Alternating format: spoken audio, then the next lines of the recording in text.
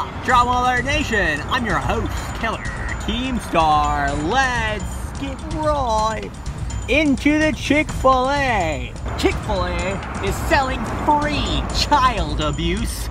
Get your child abuse at Chick-fil-A. I swear, chick didn't used to be spelled with a C K. It was, it was a freaking C.